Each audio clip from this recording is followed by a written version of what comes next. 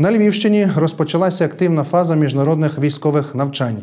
Два дні штаб міжнародної бригади цілодобово працюватиме в напруженому режимі. Наші кореспонденти спостерігали, як підрозділи 18 армій складають іспит на взаємосумісність.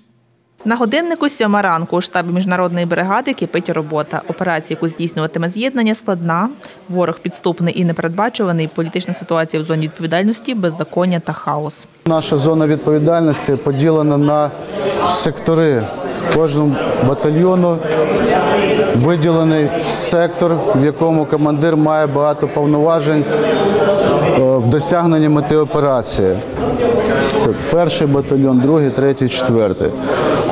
Баталь- батальйону доведеться бути готовним виставляти контрольно-пропускні пункти. Також е, існує велика загроза переходу через державний кордон е, регулярних збройних сил е, умовної Тариканської республіки, в результаті чого ми повинні бути готові і до е, таких е, бойових дій середнього масштабу на рівні е, батальйон, батальйонна тактична група з можливим переходом до оборони е, бригадної тактичної групи. Керівництво бригади після отримання команди на увід багатонаціональних підрозділів на територію, яку тероризують бандформування, починає задіювати необхідні засоби. Тим часом спостереження за районами, де розгортаються багатонаціональні сили, ведуть безпілотники. Над зоною конфлікту знаходиться безпілотник, яким я можу легко керувати, масштабувати зображення, використовувати режим інфрачервоного спектру. Техніка легко розпізнає навіть окрему особу. Навчання продемонструє, як офіцери різних країн будуть використовувати цю техніку.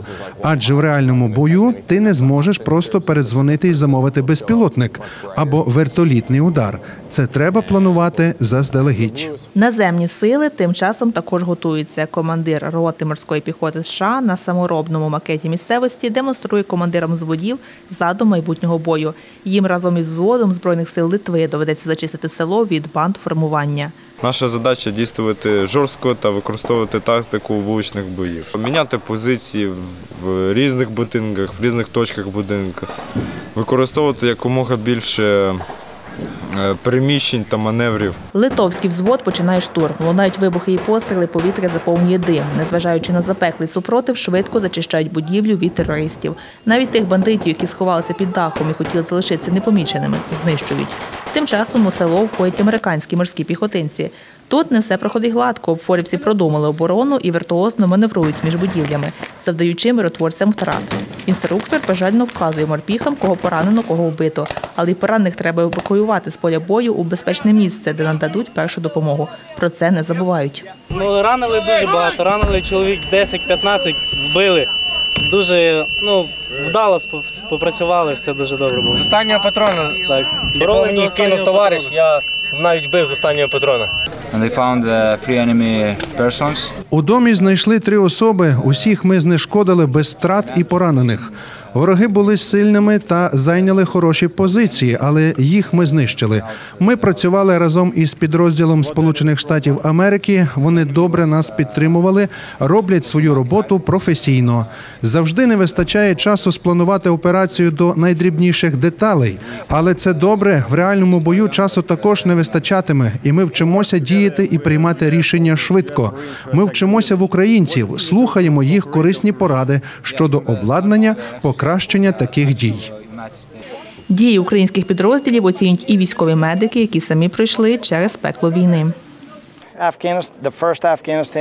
Місії в Афганістані та Іраку були напружені, особливо на початку операцій. Багато патрулів. Ми шукали ворога. Звісно, було багато поранених. Найгірше з того, що я пам'ятаю, відбулося в Іраку у 2003 році.